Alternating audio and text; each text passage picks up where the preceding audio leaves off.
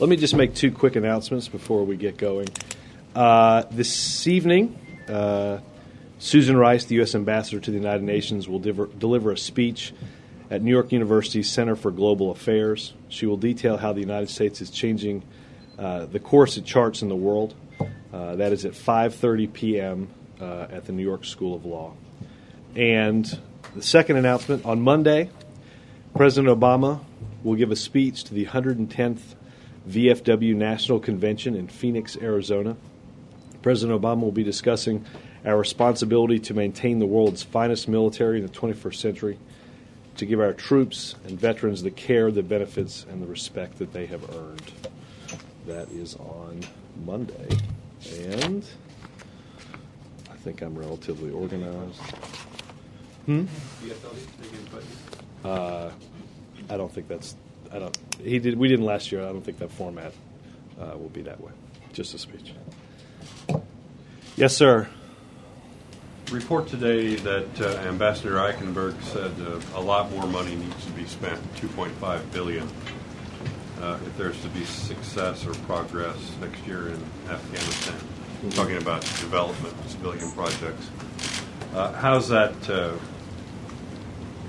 fallen in the White House? What kind of reaction has there been to that uh, that request? Well, Steve, as you know, the when the president first came into office, we conducted uh, an initial assessment of our policy uh, as, re- as it related to Afghanistan and Pakistan. Uh, understanding, as the president had said throughout the campaign, uh, that we had under resourced our efforts in those areas. Uh, he already requested $2.8 billion in assistance for Afghanistan. Uh, and the president certainly agrees that, as he said during the campaign, in about our efforts in the Afghanistan and Pakistan region as well as in Iraq that a military solution alone uh, was not possible. That we have to figure out how, um, through using all elements and all tools of our national power, including development assistance, uh, how we can best uh, attain our goals in that region. Uh, as you know, uh, that review continues. The president ordered an increase in troop strength leading up to uh, in Afghanistan, leading up to the important elections that will be held uh, in only a few days by the Afghans. Um, and we anticipate that an assessment of uh, a further assessment by uh, uh, Ambassador Eikenberry and by General McChrystal will come in mid-September after those elections.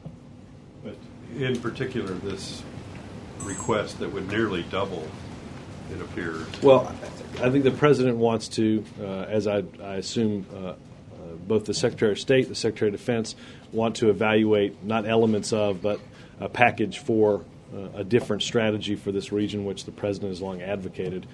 Uh, we'll do that. Uh, we'll do that as part of a, an entire package. But I will say, I, yeah. But I will say again, you know, the president has has requested as part of that budget uh, a substantial increase uh, in our uh, in our assistance to that region. Understanding, as he said uh, in many speeches at the beginning of this administration, that uh, we are we are going to have to build things. we're going to have to build.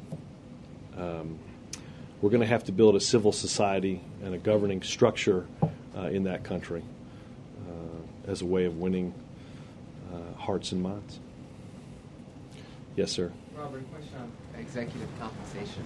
On Friday, some big companies like Bank of America, Citigroup, GM have to turn in their executive pay plans uh, right. to the Treasury Department. First question on that is, will that be made public? Uh, I don't believe so, but uh, you should ask uh, Treasury uh, for the specific uh, the specific answer to that, but I'm not of the impression that's the case now. And along those lines, how concerned is the administration still about executive pay? Um, less than a year after the banking crisis, banks are beginning to make money again, and it seems like they're paying some traders and executives a great deal. Is that still an issue uh, of concern? Well, uh, two things on that, Jeff. One, as you know, the president's what he believes is an important proposal to give shareholders a say on executive pay. uh, that's had impacts in other countries is moving its way through Congress, and we're very pleased about that. We hope that's ultimately part of uh, legislation that gets quickly to his desk. Um, that will have an impact. Uh, secondly, the, the, president continues to believe, as he has um, long before he got here, compensation has to be based on um, not on reckless risk taking, uh, but um, on uh, value that you're providing and doing so in a way that doesn't jeopardize uh, your firm or taxpayers.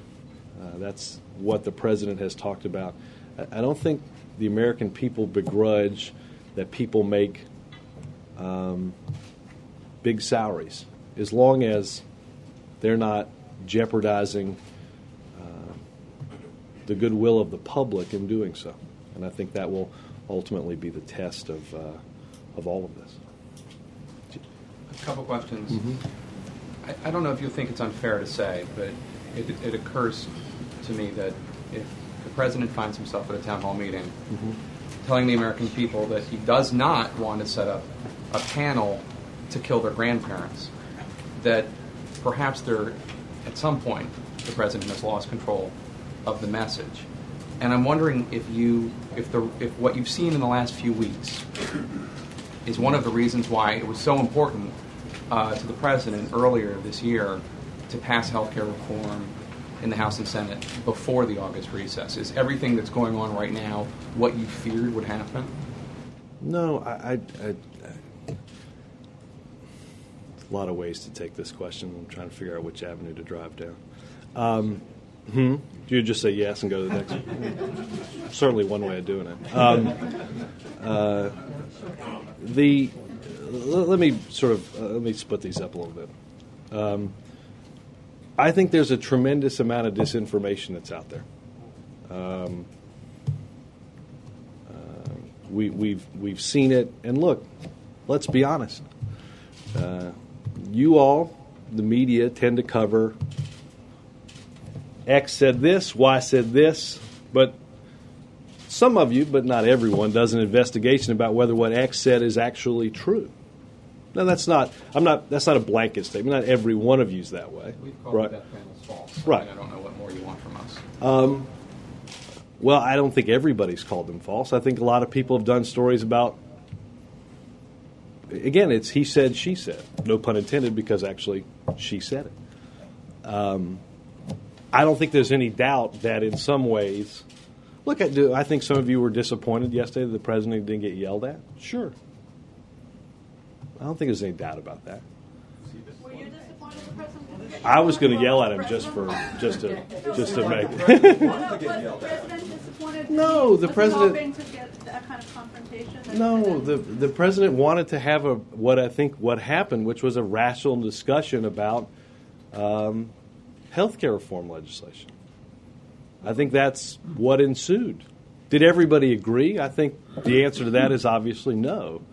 Uh, I think what the president said, which was important, is let's have a conversation where we talk to one another, not over one another. I'd, like I said, I do think there was some disappointment because a bunch of your stories had more to do with the fact of the the sideshow on each side of the street outside than what was actually going on inside uh, of the town hall. Um, but we we Jake, going back to the campaign, we've always thought um, it more important to take disinformation that that anybody may have about a proposal or uh, something that the president is trying to do and address directly that misinformation. Uh, I think that's uh, the most important thing. Again, you know, the, the notion that um, did we always expect this was going to happen? I, I, I, I said this before. I don't think the president's ever done a town hall meeting where everybody agreed with what he was proposing or what he said. I think the president believes that the town hall meeting is a structure where people can discuss those issues uh, in a way that they think, uh, the way that he believes, uh, engenders a positive discussion. Um, I think that's what he gained yesterday. But is this what you feared would happen? Is this one of the reasons he wanted it passed before the August recess? No, I, the president wants to go through the process of getting something to his desk because delay now uh, simply means, as the president I think discussed very succinctly yesterday, it means delay means more people are going to get discriminated against on the basis of a pre-existing condition. More people are going to lose their insurance because they get too sick. Uh, more people are going to get thrown off their insurance because their employer can no longer afford to pay it. Um, that's the reason the president wants to see this done uh, as quickly as possible. Who decides uh, which of the many applicants for tickets to the town halls is actually chosen? Randomly by computer. Totally random. What about who gets a question? The president asks people to raise their hands and picks on them. Well, What do you think accounts for the stark difference in the scenes, though? I mean, we saw, people were very polite with the president yesterday. They are, shall we say, less than polite with some lawmakers you saw. Some lawmakers. I Some don't, I don't know lawmakers, that. I, I'll be honest with you, Cheryl. I'll be honest with you, Cheryl. I, I, I don't know how many town hall meetings you've been to over the summer. Uh, I haven't, I haven't been to that many, but I've watched the No, no. clips of a fair number of. Right, but uh, but let's be let's let's just just address that for a second. You've watched clips put up about certain segments of certain town halls in order to demonstrate. Yeah. the Enough- consternation, enough clips to know that the president didn't get that kind of treatment that No, some no, I, lawmakers got. I And understand. I'm just wondering. I'm just you asking you to compare that to all the town halls that you've been to over the summer. Aside from that, the president didn't get that kind of treatment, and I'm wondering, do you think, is it just that people are more polite when it comes to talking to the president? Is it something in your, in the way folks are allowed into your m- meetings, or what, what's the difference? Again, I, I, I think again I'm sensing your disappointment that he didn't get yelled at. No, I'm, Um, I'm not disappointed, I'm just wondering what the, what the explanation is for it. I think people wanted to. I think what the I, I can't speak to what again. I, I don't want to speak to what other town hall meetings because I I only go to the presidents. Uh, it's hard for me to. Uh, I, I doubt we're seeing a representative sample of any series of town hall meetings, uh, despite the food fight on cable every day. Um, but um, my sense is that people wanted to take the opportunity to find out from the president uh, to have him answer their questions uh, about why he's doing what he's doing and the concerns they may have on the legislation. That's why when he asked, let's take some questions from those directly that have some concerns. At that point, I think you know. Do you want to? Do you want to take that opportunity to have a discussion with the president of the United States about uh, what he wants to see on health care reform? I think most people took that opportunity as something that was uh, that was positive. I think it was a a good conversation. I think the president thought it was a very productive conversation about the issues that we were dealing with. And as Jake said, we we we, def, we you know the president you know went out of his way to bring up, in fact, some of the misinformation that turns out there in order to address it. Because I think obviously he understands he has a pulpit that is um, large enough to deal with some of the misinformation that some people might not ordinarily ask or inquire about because they've read it somewhere and they just assume that it's uh, true, even if it's not. He think is the biggest obstacle to, to passing this legislation? The special interest. And is The people that want to keep the status quo. The people that believe that somehow what we have is working for uh, the millions of Americans who are watching their uh, health care premiums skyrocket every day, who are watching small businesses drop their coverage, who are part of the 12.5 million people over the past three years that have been told by an insurance company in seeking to buy insurance on a private market that they're not eligible because of what somebody has decided there's a pre-existing condition. I think that would be what the president would believe is the greatest obstacle and has been for 40 years. There are people that, that have a vested, in some senses, monetary interest in keeping things as they are. Isn't it his fault, though, that he's not getting the message across? Well, we'll, uh, Misinformation. No, look, I, I, I don't think the president was under any illusion that with his presidency with the ascendance of his presidency, that would be the end of misinformation. I do think the president believes. Look, I, I'm, I'm sure there are, there are communications experts uh, that would tell you, well, anytime you're, you know, what's the old thing? If you're explaining, you're losing. Well, I think the president believes uh, these town halls provide an excellent opportunity to explain exactly what uh, his ideas and principles are, and more importantly, if he can affect misinformation by telling people uh, what isn't in a piece of legislation, I think he'll take that opportunity. Dan. Uh, in, in addition to the uh, town halls and the website to knock down these myths, is, is the White House um, considering other venues to try to correct the record, if you will? Uh, I don't. I don't. It specifically.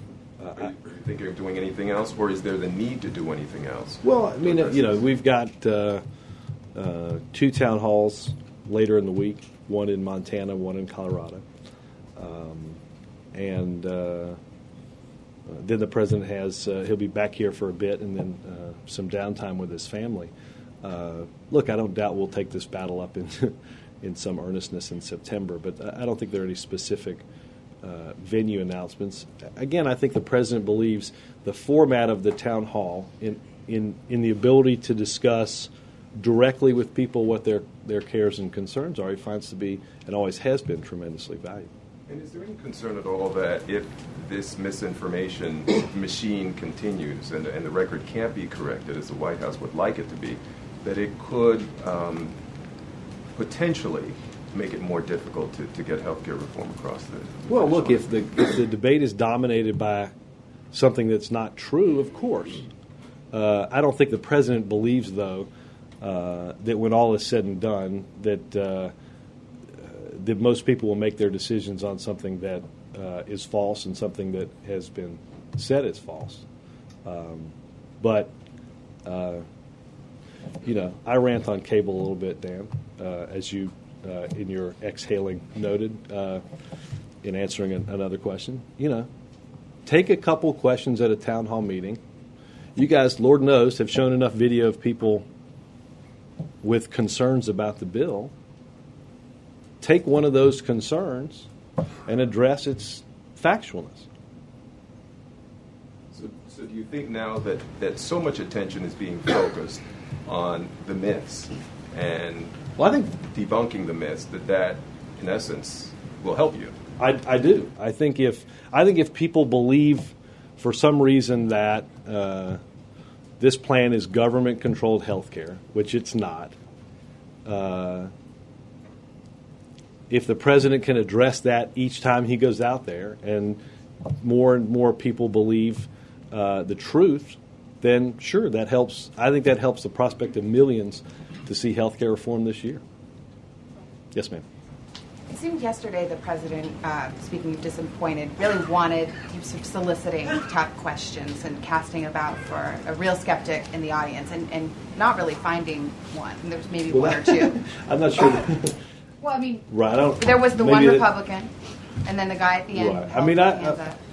The woman, I did read in a few leads yesterday afternoon that the president addressed skeptics of his health care plan, but I, maybe that was Okay, maybe it was 100% great. I don't know. It seemed that no, way. no, no, no. I'm just I'm, I'm pointing out that at least yesterday afternoon, the, the perception among many of the stories I read was that the president had addressed some skeptics. Okay. In the he was asking the audience, who's a skeptic? He was seemed to be soliciting tougher questions. Mm-hmm. Right. So to the extent that there weren't as many of those folks present as we've seen in other town halls, not necessarily yellers, but people who have legitimate concerns. Is there anything that you guys can do going forward as you approach these town halls to get an audience that's more representative of divergent views? For example, I don't, I don't. Well, first of all, I don't know how many questions the president took yesterday. Eight. I don't know how many we'd say were people that were at least the last two because he took those from that. Uh, I don't remember. I guess the Republican was one of those two, right? The guy who said he didn't know why he was here. There was the gentleman. I think the third question. I was sitting on the left hand side, so it would have been the right hand side. A question about Medicaid and Lipitor.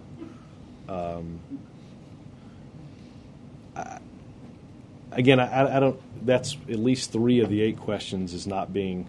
Um, that were in some ways skeptical.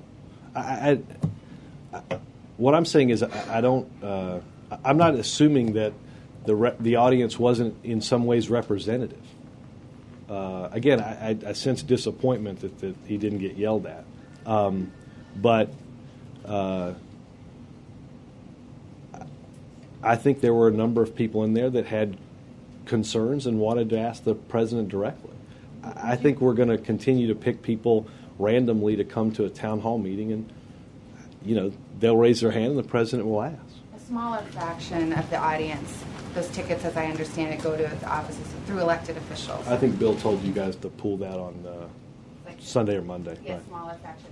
Would you cons- uh, but to Democratic lawmakers, would you consider in an attempt to have a more open debate, would you consider, for example, in Montana, giving to the Republican congressman? Savannah, I, I, I think the, the president feels very comfortable with the fact that he's having a representative discussion, um, despite people's disappointment that it, he wasn't yelled at. Yes, John. No, yeah. I, I don't doubt that. Um, you know, if you look at if you look at the, the protests that we were that we saw outside of outside of the building yesterday as a kind of a continuum from the the tea parties and then the controversy over the birth certificate and then, then the, some of the anger over the Gates Crowley episode. You look back at that. Uh, one, I'm wondering I have to admit, Jonathan, I, let me just, I, I, I didn't go in the front door, so I don't know. I, I did not see, oh, I don't doubt that, but I, I, I'm, I'm saying I, I don't, I don't know, I didn't see a representative sample of the signs, just, yeah. But what I was going to say is, uh, you know, this is a president who campaigned um, on the notion uh, that we could get beyond the partisan, war, the ugly partisan warfare of the last 16 years, um, and that uh, there could be, you know, rational discussion uh, that could bring parties together. And I wonder what happened to that. Why did the post-partisan presidency not materialize? Um, well, Jonathan, I, I, you know, again, I, I don't know if you were outside or inside, but I, I think there was a rational discussion about issues not based on ideology or party uh, inside the town hall meeting. Um, look, I, it's not for me to. I, I can't tell you why somebody believes, uh, despite all preponderance of the evidence, that the president was born um, in uh, uh, was born here and not somewhere else. I, I, I've stopped trying to explain that. I did see a poll yesterday where eight percent of the people said they didn't know if Hawaii was or weren't sure whether Hawaii was a state. So I don't know if that's caused some consternation. In the South of the United States now, among identif- self-identified white-collar workers, about a quarter of those people identify themselves as feeling very negative to this president. Uh, it's a quarter. I mean, obviously, the vast majority aren't saying that, but Right. that, but it does seem like there's an emergence of, uh, you know, I'm kind sorry, of you said white collar. people who identify themselves as Right. white collar workers. Um, th- there seems to be an emergence of a core group of people who feel very strongly negative, whereas at an inauguration, I think it was only six percent that said that. Well, look, Jonathan, I don't think the president ever believed that all the people were going to agree with him all of the time, uh, or even that all the certainly that all the people could even agree with him a majority of the time. Uh, I think you can have uh, the effort to talk about issues differently, to be to disagree on issues without being disagreeable about it, to have those type of discussions, uh, to talk about how we deal with the issues that haven't been confronted for years and years. I, you're still not going to get 100% of the people all the time. You may not get most of the people all of the time. Uh, I think the president will continue to reach out uh, to Democrats and Republicans for ideas, both in Washington and outside of Washington. Um, continue to find a way to uh, bridge the differences that we have and seek common sense solutions. Uh, I think that's what he's tried to do uh, uh, since he's come into office. Peter? What individuals or groups do you think are the, the biggest purveyors of the disinformation and misinformation that you keep mentioning? Oh, I, I don't know. Um, I, I, look, I think there's. I- I think you've seen uh, certain elected officials give out information that was wrong. You've seen Who? Uh, well, I- Sarah Palin gave out uh, uh, information that I think many of you all pointed out was wrong just on Friday. So I, that's one. Uh, there's certainly countless other. Well, fair enough. That's uh, I, uh, I I promoted her, I guess, to uh, current Alaska governor rather than former. Uh, obviously, there are. Look, you watch. I watch TV. You watch uh, different groups that are coming to these meetings that are saying stuff that just isn't true. The president will continue, though, to try to address that. I think he thinks that's a positive thing, so that people that want to make an informed decision about this stuff will have all the information they need to do it. To what extent does he hope to, uh, shall we say, lower the temperature of the debate by doing what he did yesterday and, and going out again in the West uh, later this week? Well, I don't know that it's a, a lower the temperature. I think it's just a way of a, a way of um, discussing this uh, in understanding that, agree or not, people are people rightly have questions, and the president's happy to answer those questions. And I think that's, I think he's again, he's always seen that, he's always seen this as a way of uh, town halls as a way of doing that. I think the president also came into office understanding and believing that, as I've said here many times before, that whether people agree with you or not, he thinks it's important to. Here's why I'm doing these things. Here's why I'm making the decisions that I'm making.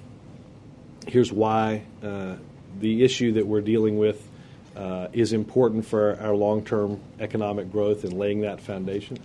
You know, I think he believes that um, those that that type of uh, that type of continued dialogue with the American people is tremendously important.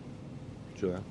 Following up on Jeff's question, it's been reported that the uh, executive compensation proposals, that they will be made public at some point, but done in a way that preserves the privacy of, of the individuals at these firms. Is that I- something that? I, I don't know. I, I think Jeff's question was, and I don't want to infer the, the that were the proposals that were handed in by the deadline of Friday were those simply going to be made public? I thought I doubted that, but I would check with did, you guys should check with Treasury on the specifics of that. On all the process? Yeah, I, I, I, I, I, I- whether or not, I mean, I guess at, at some point, obviously, I think, as I understand it, uh, Mr. Feinberg has up to 60 days to review uh, and make decisions about those, and obviously, at some point, uh, that decision will be a public decision. But you're wrong in saying people are concerned that these high salaries, bonuses are being given while their tax funding is being used and so Well. I, I didn't. I didn't say that there there weren't there wasn't concern for uh, there wasn't concern for that. I said I didn't think people begrudged people making money if they're doing it in something that is uh, not based on a risk that's going to put somebody else's tax money in danger. Um, I, I think people don't want the president of the United States making uh, every business decision and every economic decision. I know the president believes that, No, uh, and I believe. Oh no, no, no! I, that's why the president talks about it. The president, look, the, the president didn't come at this. Uh, uh, the president came at this upset as as many taxpayers were in reading this stuff. Has the president in any meetings lined out, obviously there's a say on pay that he's a big proponent of, but, but what he'd like to ultimately see some of, some of the goals and with the government having a, a vested interest now in, in, in the firms that kind of, that Ken Feinberg has jurisdiction over. Mhm. Has the president talked about needing to balance compensation restrictions with making sure that they're not in a competitive disadvantage? Well, uh, I don't know that it, I've heard him enumerate it quite like that. I think he has. Um, uh, uh, obviously, we've had a number of discussions about executive compensation and uh, ensuring that uh, more in the way of ensuring, as I said earlier, uh, that we don't have compensation that's based on um, outsized, irresponsible risk taking. So the competitiveness is not a top concern of yours? Uh, I I think I've heard it mentioned, but I don't know that I've heard the president discuss something like that. among the economics team in this administration and over here at the White House, is there a, is it important to see that, that these firms remain un- uncompetitive? Well, uh, again, without getting into the specific compensation issues of these firms, obviously um, we have a monetary, um, taxpayers have a monetary interest in ensuring that places like GM and, and others do well. Uh, that's not to say anybody's going to cut corners, but obviously uh, uh, we've seen banks already this year repay money. We've seen them repay with interest warrants on stock options have been sold in order to get money back to the government, and I think the, the president wants to see uh, uh, that money rightly returned to the taxpayers. Major. Will Chairman Baucus be with the president at the event in Montana? Yes. So they'll do it jointly? Uh, No, no, no, no. No, I think he'll be he'll be in attendance. Uh, he's not an introducer or uh, uh, he, he's he's just he's he's not a participant. He's uh, I guess he's been pre-screened. Right, you're right, but he won't be answering questions or anything like that. He's just there. He's just there. Okay. Uh, yesterday, the president said AARP endorsed the plan. As you're aware, yesterday AARP said it hasn't endorsed a plan. Where on the information or disinformation scale would the president's remark fall? Um, well, the president said, uh, well, I, AARP has said they are certainly supportive and have been for years on comprehensive health reform. Uh, I don't think the Met, president meant to imply uh, anything untoward. Uh, I think he discussed the notion that um, uh, AARP is supportive of legislation, or I- I'm sorry, an agreement that would um, that would fund uh, filling the donut hole for seniors as part of Medicare Part D, as well as additional savings for comprehensive health care reform. The president is doubtless aware AARP hasn't even endorsed the House pending committee legislation Which or is the what I Senate just said. legislation. Right. So he's aware of that. So he Uh, wasn't trying to mislead anyone. No, He no. just misspoke. Right. Is that something that can happen in this debate? That people can misspeak? Right. But not without intentionally meaning to mislead. Um, sure. I don't know if it's happened on uh, certain subjects, but yeah.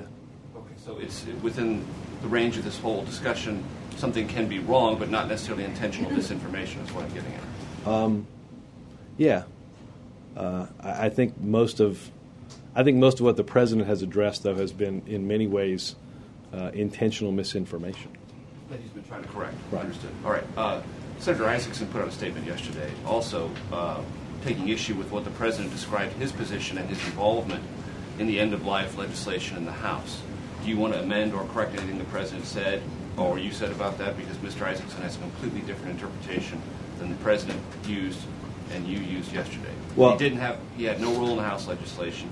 He opposes the language in the House. Well, I didn't say. I, let, let's take what I talked about on the back of the plane, and let, let me just read what. Let me just read the question, a series of questions and answers from Senator Isakson. How did this become a question of euthanasia? Senator Isakson. I have no idea. I understand, and you have to check this out. I just had a phone call where someone said Sarah Palin's website had talked about the House bill having death panels on it where people would be euthanized. How someone could take an end of life directive or a living will as that is nuts. You're putting the authority in the individual rather than the government. I don't know how that got so mixed up. Question two. You're saying this is not a question of government, it's for individuals. Senator Isakson. It empowers you to be able to make decisions at a difficult time rather than having the government make them for you. Question three. The policy here, as I understand it, is that Medicare would cover a counseling session with your doctor on end of life options. Senator Isakson. Correct. And it's a voluntary deal. I believe those are answers in response to his amendment in the health bill. Uh, not the uh, longer and, and more uh, def- defined involvement of, of these end-of-life panels that's in the House bill. That's Well- how it's been explained to me by his people, so I'm just wondering Right. if... Well, I, I don't. I, I I would ask then those people to interpret. I just had a phone call where someone said Sarah Palin's website said uh, website had talked about the House bill having death panels on it where people would be euthanized. How someone could take an end of life directive or a living will as that is nuts. Not my words. No, I, I understand. Yes. But So- what the president talked about yesterday was saying that Senator Isakson had some role in No, I think what the pres- or develop the House I think what the president mentioned was that- implying that he supported it. And I'm just saying that Senator No, no, no, Isakson and I- that he had any role and he doesn't support it. Again, I, I don't think that's what the president was implying. I think what the president, I think the president mentioned that, that Mr. Isakson had been in the House. That may have been some of the confusion. I think that's, uh, he was a member of, Yes. did obviously represent uh, Atlanta suburbs before becoming this U.S. senator from Georgia. Um, I, I think what again what the president was trying to say was in this was in a question about some of the misinformation, asked specifically about euthanasia and death panels, uh, and I think I, I think and I said this also on the back of the plane yesterday. I think what Senator Isakson said says in addressing that misinformation could not be more clear that for someone to take, as he says, talked about the House bill, his words, not mine, having death panels on it where people would be euthanized, how somebody could come up with that, roughly paraphrasing that sentence, is nuts. Right, and and I'm not, I'm not trying to Yeah. beat this into the ground, but he doesn't support the language in the House bill. You can have differences over No, no, I what understand. I- I- the- what I'm the- saying is I think there may have been some confusion about it. counseling is, Right.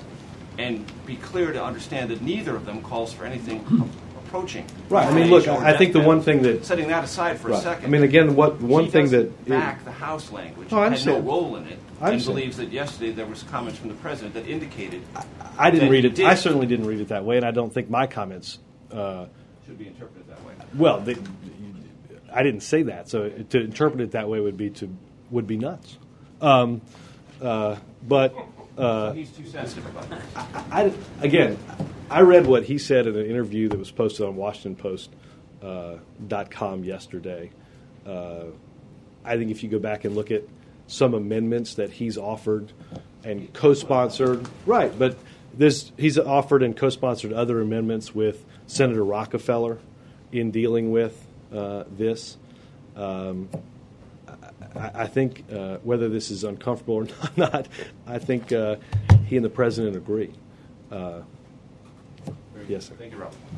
I want to go back to the earlier question uh, about the AARP. And what he actually said was AARP would not be endorsing a bill if it was undermining Medicare. What exactly, how did he, can you explain to me how he misspoke and what he meant to say? I think again what he's conflating is one, and I think if you ask AARP this, they have been supportive of comprehensive health care reform for a long time. They have not, as they said, endorsed a specific piece of legislation.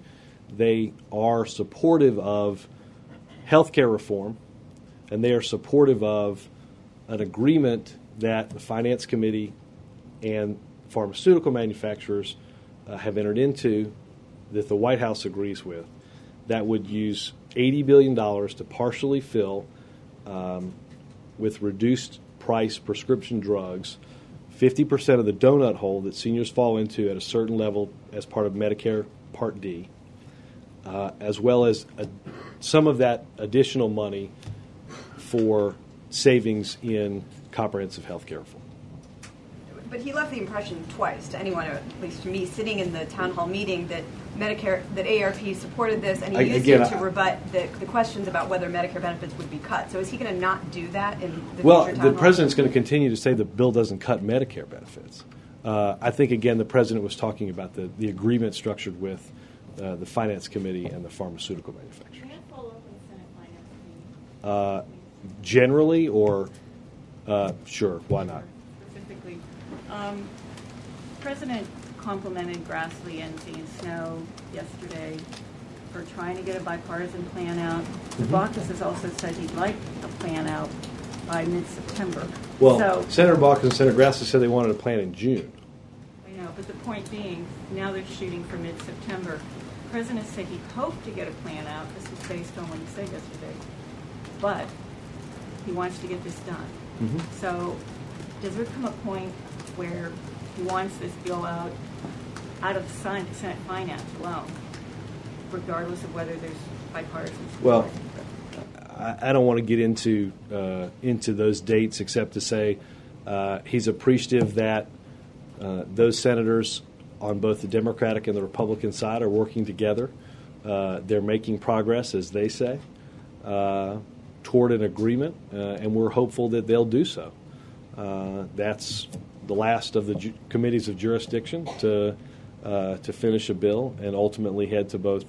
Uh, well, ultimately to go to the Senate floor. Obviously, the House has done their work and can go uh, there as well. Thank you. Margaret.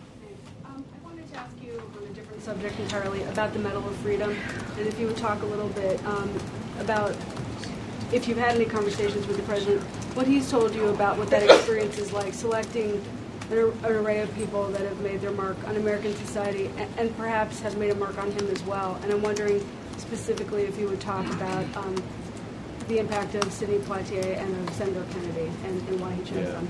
Well, obviously, um, uh, the president wanted to pick those individuals that, um, uh, as the medal talks about this year, who are uh, agents of change. I think, uh, obviously, um, Senator Kennedy is somebody who, um, for decades in Washington, has worked to um, improve health care, to improve education, to help millions send their children to college.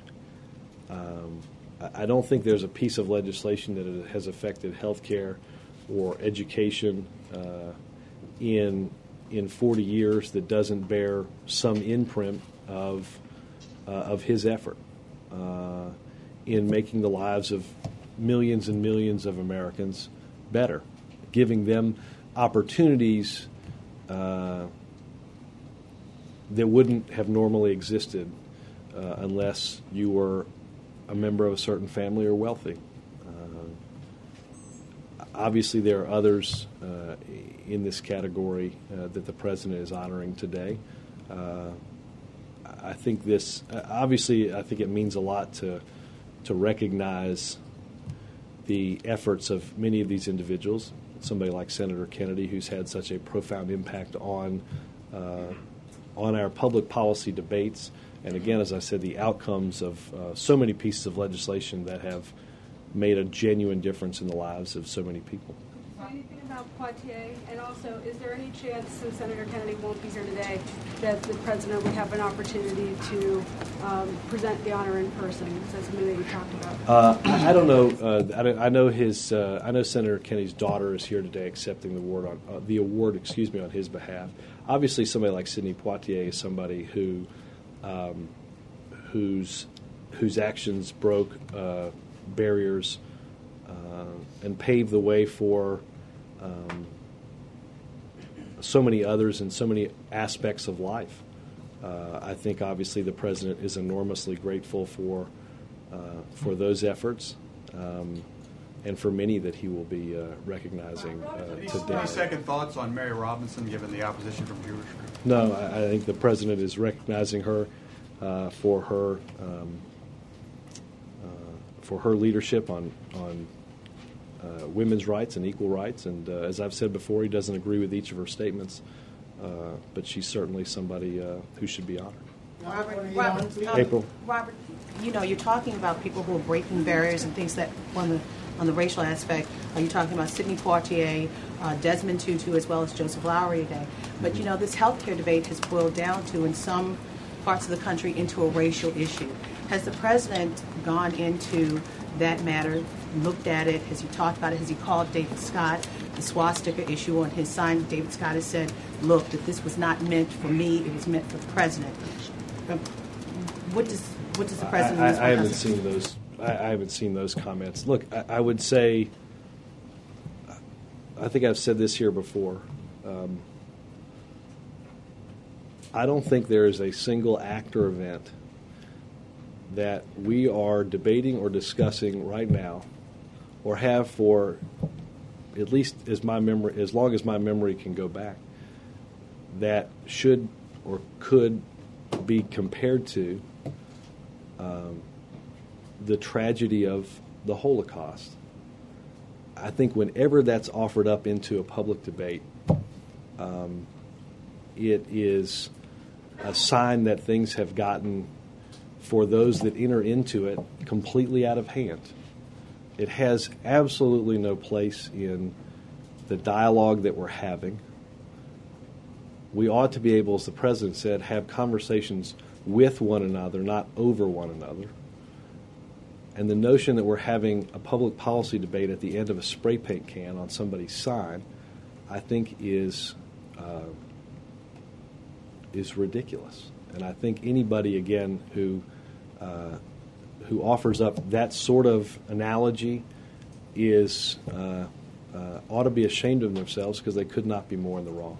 Should there be more sensitivity not just on the Jewish component, but also on the the ethnic component as well as talking about black, uh, Hispanic? I, I think the president would tell you, as he said countless times, and as I've repeated hundreds of times, we ought to be able to we ought to be able to disagree without being disagreeable. We ought to be able to have a conversation, even a debate about issues that are out there um, that don't result in um, uh, the type of degrading comments or actions uh, uh, like you've referenced. Thanks, guys.